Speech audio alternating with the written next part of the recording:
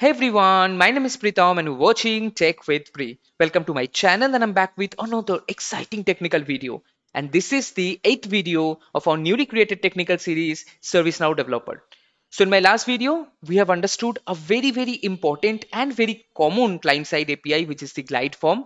And I've shown you that how they, how glide form works, what are the different methods of glide forms, so how you can customize your forms, you know, by adding maybe icon, setting a field mandatory, setting a field read only, changing the color of a field, different things that you can do with the help of the glide form methods, right? And I hope you enjoyed the video. But if you missed that video, don't worry, I'm going to put the link in the description and also you can find the link here on your screen, right? So today we are going to learn about another client-side API, which is the glide user. So again, very important API. And also today we are going to see in the practical that how we can use glide user and glide form together inside of the client script and I, I'll show you based on some certain scenario based things okay? And it's going to be very very interesting. So make sure you watch the full video. Again in upcoming videos when we will deal with the client script so we would do different scenario based stuff. So there we need to use these APIs right? Glide form glide user. And i'm also thinking to cover few more important apis in next few videos. And then we can jump into the client script. All right. So i hope you are ready. So let's go to my personal developer instance and let's start the glide user all right, so I'm in my personal developer instance. So as you know, like for glide form also, uh, we cannot use uh, this client-side API. Rather, I cannot show you client-side API inside of the background script. So this is only for the server-side stuff. So in the last video also, I used the client script. I created a client script and there I've shown you how things are working. And today also I'll do the same before going into the glide user let me tell you glide user is again uh, you know like glide form it is uh, it has a object global object that is the g underscore user okay so again, that means the object is already created inside of the class. So we just call the object and use different methods. Just to tell you that glide user is also having some properties. So in the class and object video, uh, which is there in my uh, you know ServiceNow and JavaScript playlist. So I have shown you or I have rather explained you that uh, you know there are properties and methods. Both is part of the class, right? So a class have properties, a class have methods also right? So now we will see in glide user, we are going to use some properties as well. We are going to use some methods. Okay. And it's going to be very, very interesting and very, very useful. So let's start a client script and let's start exploring the uh, glide user. All right, so I think the last client script that we have created uh, called test, it's already there. So I'm not going to create a new one. Maybe I'm going to use uh, in that one only. So this is a test one. So I'll open it. All right, so here we are going to write the uh, glide user stuff. Again, glide user can only be used inside of client script and also in UI policy, also in UI action, uh, which is based on client side. Okay, uh, but remember you cannot use glide user inside of the server side. So let me tell you a very informative information that this, whatever we are going to use with the help of the glide user, like user's first name, logged in user first name, last name, we will get the full name, uh, even the user ID, sys ID. So all this information can be get from the session current session that user is logged in. So actually it stores in the browser. Client script works in the browser level. So it very easily get those information. So if you remember when we learned about the glide system, so we learned that glide system is also, it, it was a service side, server side API. And with the help of glide system, we get the system information as well as the user information. So there was a method called glide system or the gs.getUser. So that was a method. And by using that method, we calling other method like gs.getUser, uh, then dot get username or get display name or has role. We have learned those things right? So those things were I, I told you that those things are coming from a different api called glide user. So this is the same api so from server side we access those client information that what is the user's full full name and different roles what user has. So we access through this api on the glide user right? I hope this concept clears. We use glide system in the server end and we directly going to use glide user in the client end okay? So first let's discuss about some properties of the glide user. So we will start with g underscore user. Uh, again this is a global object and we can get the first name. And we don't need to use the method because first name is not a method. This is a property. So directly we can do like this. So i want to see in you know in printing so that we can get the first name. So so i'll do another uh, api method. That is the glide form that you have learned in the last class. Uh, add info message. Okay and here i'm going to use g, g, g underscore user dot first name this property okay so i'll copy this so that i can show you the rest of the property So next we have the g underscore user dot last name. So we will see the output uh, at the end. So last name, okay.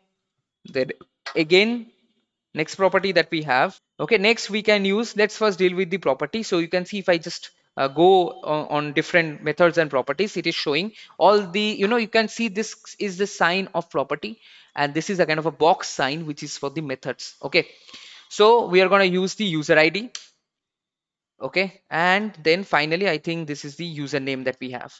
Remember the difference between user id and username? Try to guess it. I'll show you in the output in a minute. So username that's the another property okay so now before i show you in the output again i will uh, print it and this time i'm going to use one of the method which is the get full name. Okay this is a method and if it's a method i have to give a sign like this open parenthesis and close parenthesis sign of a method okay? So i'm going to save it it's the onload function in the incident table. So i need to open the incident table here in the other tab. And you can see when I load the incident form in the other tab, I am getting the output. So this is a first name system, last name administrator. This is the user ID and this is the username and this is the full name. So you know that user ID is the sys ID and username is the username of the admin. So now you're able to relate with the uh, the glide system method, right? gs dot get user and then get first name, get user ID, has role. All these methods are similar. This is coming from the glide user API only. Okay, so now we will deal with some roles method. Okay, so I'll remove this thing. And now before I'll deal with the role method, three method we are, that we are going to learn today. Uh, that is the gs dot first has role method, then has roles with s, then has role exactly. And I think there's one more method. Uh, so that would be total four method has role from list. Okay, and which is very, very important. So I'll show you all of them uh, one by one okay. But before that i want to create a role first. So you know that how to create a role very simply. So i'll open another tab. So i want you to clear the difference between has role has roles and also has role exactly and has role from list how differently it works. So uh, maybe i'll go to the roles table. So sys underscore user underscore role uh, dot list. Okay i'm gonna create a new role. And maybe i'm gonna name it as demo one. That's it okay and i'm going to save it. That's it. And now this role is not assigned to anyone. Okay? So first i'm going to show you the method called g underscore user has role and let's let's go with a scenario this time. So what i want is that uh, if the user has the demo one role if any user has the demo one role then only this description field will be visible for them. Otherwise this description field will not be visible for anyone. Okay so first, what we need to do, first we need to set this description field as read only because without demo one role, no one will be able to edit it. Okay. So first what I'm going to do by default g underscore form dot set read only. Again, I have explained this in my last video. The field name would be description and I'm going to make it yes, I'm uh, sorry, the true boolean value. So it would be read only. This is by normal. Now what I want is that if g underscore user, I'm going to use the method called has role method. So now I have to give the role name. So the role name is demo one. That's what we decided, right? So demo one. So if the current login user has the role demo one, then the description field read only become false, right? G underscore form dot set read only and it would become false for the description field false okay. If the user doesn't have this role then um, it should not be working right? So that's it. I'm gonna save it. Okay quickly i want to open the user table. Uh, i want to show you the role of the administrator system administrator by which i'm logging right now. So you can see this is the uh, system administrator. So if i open it uh, you can see this is all the details. And if i go to the roles i have 31 roles but there is no demo one role right? There is no demo one role so now that means I won't be able to see it, right? So let's add the demo one role quickly. Let's do that first. So demo one, demo one, let's add it because as per the criteria, I had have to have the demo one role so that I can edit the description field. Okay, now demo one role is added here. So first I will turn off this uh, this if uh, part because I want to show you that first description is not editable for anyone So if I just refresh it, you can see description is non-editable. Only it will be editable if the logged in user has the demo one role. So now we have given the logged in user, which is the currently is the system administrator, the demo one role. So now if I save the client script, now I should be able to edit the description. So refresh it. You can see I can edit the description because I have the demo one role. Now I'll show you the cool things. I'll go back again and I will edit the role tab and I will remove the demo one from the system administrator. I only have the admin and security admin role. I'll save it. Okay, now I should not be able to edit this part, right? Let's refresh it. And you can see still I'm able to edit this part. How it's possible? So now let me explain you. So this method actually returns true if the user has the following role or the user has the admin role. So now I logged in as a security admin, right? System administrator. So I have the admin role. So, so this is working for me. So the description is becoming false and I'm able to edit description. But if I test with any other user, it won't be editable. So let's use, so let's try with the other user. So maybe I'll impersonate it with the user and it has to have the ITIL role. So, so I'll go to ITIL user and I'll impersonate it and it has the ITIL role. So now if I refresh it, it doesn't have the demo one role. So an user won't be able to edit the description field. You can see it's not editable for the ITIL user.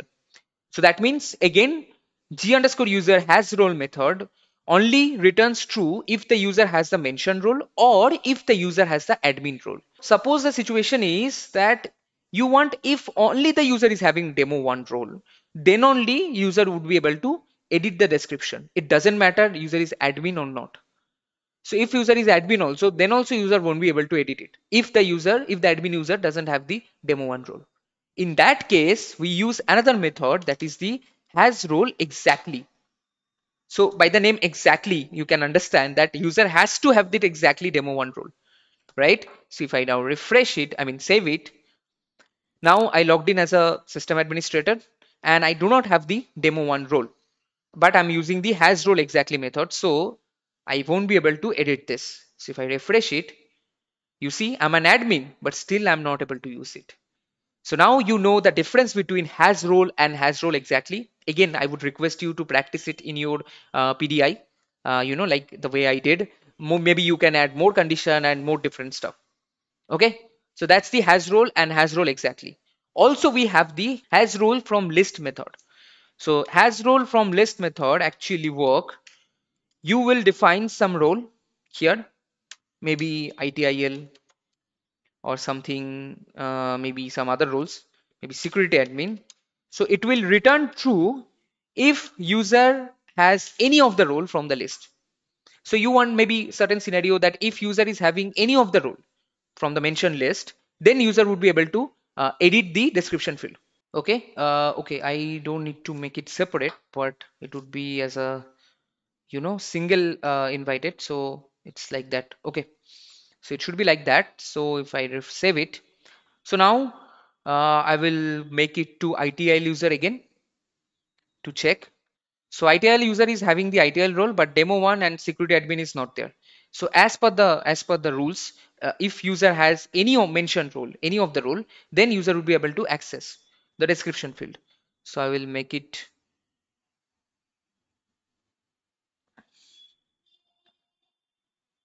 so now I logged in with ITIL user. So I'll go here I'll refresh it and I should be able to edit it. You can see? Because ITIL user has having one of the role. So there is another method called has roles which is uh, very important again. And has roles runs return true if user is having any method any sorry any role sorry not method any role if it's there. So i'm still login with uh, ITIL user. So okay i won't be able to edit this client script. So i make the impersonation end. Okay? And has roles so it doesn't accept any parameter. So you can see. So if user is having any role then the description would become true. So fine. I'll again switch back to ITIL user so this is how you have to practice it also in your PDI to understand this, you know, glide user different methods, right? And trust me, when we'll deal with complex client script, when what we will gonna see in upcoming videos, there you need to use these uh, methods, right? So here, so I'm now in ITIL user and I again should be able to edit this field because I have at least uh, some roles in my table. Okay, so this is how it works. So these are the all different methods and properties of the glide user. So there are uh, set client data and get client data. Two methods are there, which I want to discuss in separate videos when we'll deal with how we can connect with client to server. Also get reference is a method which we can use from g underscore form that I have not described because I'll do in a separate video. So I hope you enjoyed the video guys. Again, practice all these things and trust me, it's going to be very, very useful. So in next video, I'm going to use, uh, so I'm going to discuss about uh, two or three more APIs, uh, client-side API that's going to help you a lot while dealing with client script. So I want to make it clear. I'm going to give you all the weapon before we will fight for the client script scenario. Okay. So if you find this video helpful, hit the like button. If you have any doubt, let me know in the comment section. And don't forget to share this video with your friends and families so that it can reach out to many people. Don't forget to follow my Insta channel for tech tips and the technical reels and posts and also subscribe my channel. See you in my next video. Bye bye. Take care.